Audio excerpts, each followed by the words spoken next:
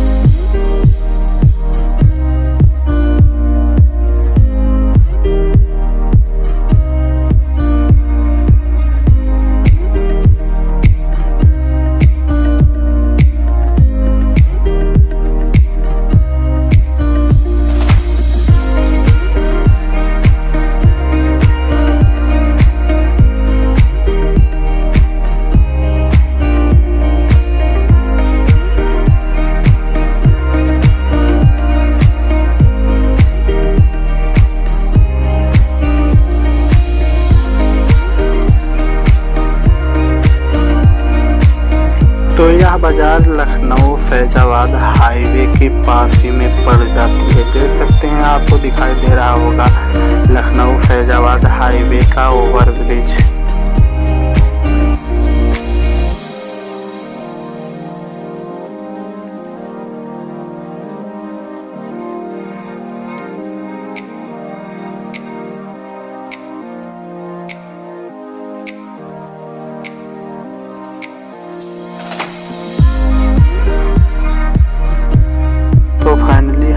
चुके हैं चाट की मशहूर दुकान जो कि सोहाल में बहुत ही ज़्यादा फ़ेमस है।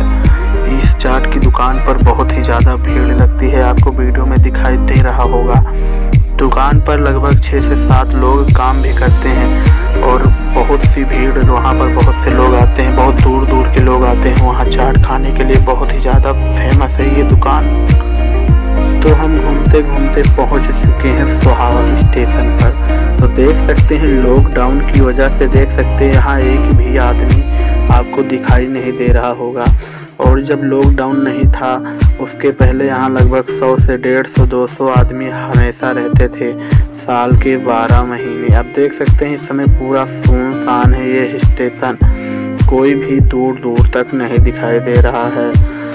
और अगर जब स्टेशन चलता है तो दिन भर वहाँ बहुत से लोग रहते हैं। यहाँ बहुत सी ट्रेनें रुकती भी हैं। बहुत से लोग यहाँ उतरते हैं, बहुत से लोग यहाँ पर ट्रेन पर चढ़ते हैं। तो लोकेशन कुछ इस तरह का है, आपको दिखाई दे रहा है पूरा सुहावल स्टेशन।